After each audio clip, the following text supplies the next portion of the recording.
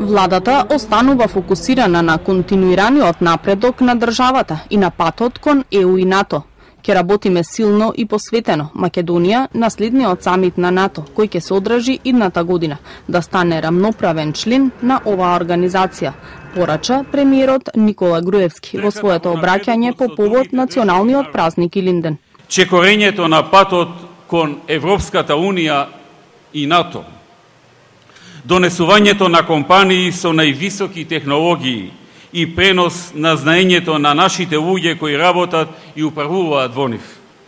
Отварањето на нови работни места. Битката за повисоки стандарди на секое поле и во секој сектор. Спроведувањето на континуирани реформи и реализацијата на илјадници проекти.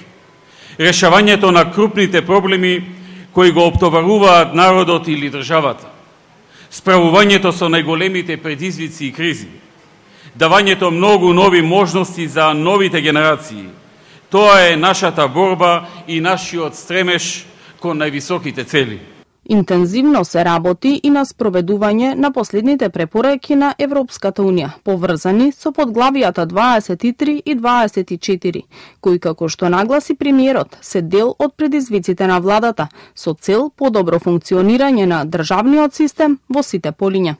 Во таа насока, Груевски изрази надеж дека Грција што поскоро ќе ги надмине актуелните економски предизвици и ќе го врати фокусот на решавање на билатералниот проблем, кој како што нагласи, цели 7 години неоправдано не чини членство во НАТО и во ЕУ.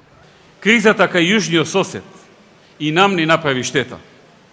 Како економска, заради блискоста и поврзаноста на нашите економии, така и политичка – пред се заради целосното дефокусирање на нашиот сосед, на, од, од решавањето на нашиот билатерален проблем, што нас веќе цели 7 години неоправдано не чини членство во НАТО и веќе слободно можам да кажем и членство во Европската Унија, затоа што ако немаше блокада на започнувањето на преговорите во 2009-та, ние денес ќе бевме член на Европската Унија.